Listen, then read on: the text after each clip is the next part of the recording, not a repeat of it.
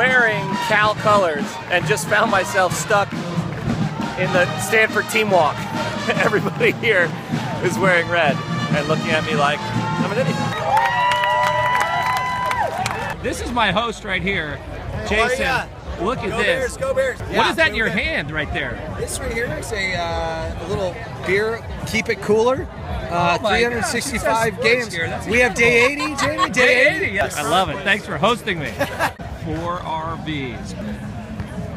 Gotta love the sushi at Tailgater. I am not in Nebraska anymore. Who's gonna win today? Who do you think's gonna win? Who, who do you think's gonna win? Cal, yeah, all right. Woo! Stanford dad and a Cal son. What's your name, buddy? What's your name? Say it real loud. Owen, so you had your choice between a Cal shirt and a Stanford shirt, and you chose the Bears? Yeah, can you say go Bears? Go Bears! what do you think about that, Dad?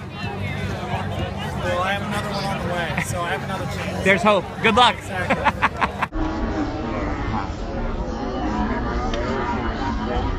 Fifteen minutes after kickoff. Yeah, November 23rd, Northern California.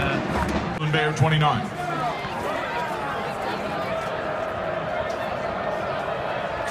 They just announced that Arizona pounded Oregon, so despite their loss last week, Stanford can still go to the Rose Bowl. A little video with my benefactors. Thank you very much. You're most welcome, Jamie. All right, Thanks for rooting for Stanford today. go Cardinal.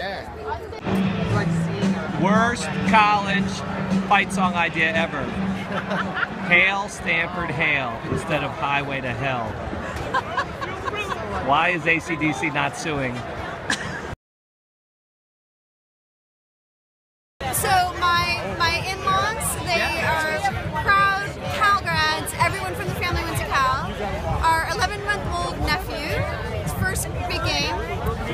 Actually had his very first word at big game today. Okay. He said Oski, which is Cal's mascot. It's a big deal.